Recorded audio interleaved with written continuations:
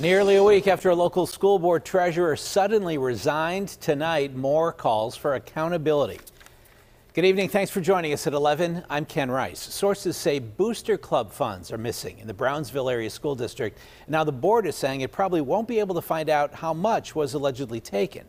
KDK's Jennifer Borrasso talked to club leaders who really want some answers. A lot of emotion tonight. People are angry. One Booster Club member says they may have lost $2,500. The superintendent met with Booster Club members before tonight's school board meeting, saying that the district cannot demand an audit. They do not have jurisdiction. So Booster Clubs will look at their books if they want to and meet again with the district to figure out what they do next. You're right. I know people who go to prison for, for, for years and years for stuff like this, right?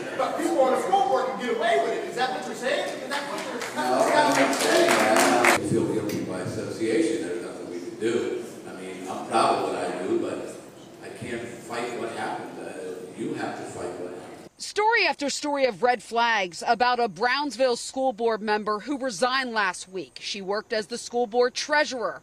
Matthew Morgan is associated with Brownsville midget football. This person, um, I don't know if we could say it's a she, but uh, had personally come to us and tried to get involved with us. We did not allow it, but they did use their position on the board Tabitha Silbaugh, the treasurer of the Lady Falcons basketball team, said the treasurer asked for Booster Club information shortly after she was elected last year. She asked for every booster bylaws, every booster's financial records. KDK is not naming this Brownsville school board member who resigned last Friday because there have been no criminal charges filed. KDK first reported Cheryl Terravecchia, the vice president of the board, said the school board treasurer allegedly told booster clubs that a school board member had to be on their accounts.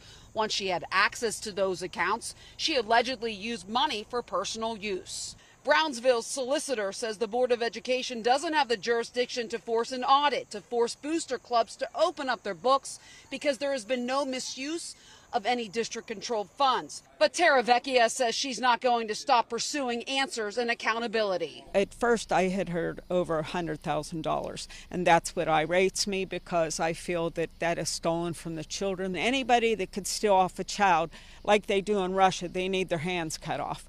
And if it was a child stealing from her, I'm sure that she would be mad about it. Booster Club members will meet with the district later this month. Meantime, I reached out to the school board member who resigned last week. She did not return my call. Jennifer Borrasso, KDKA News.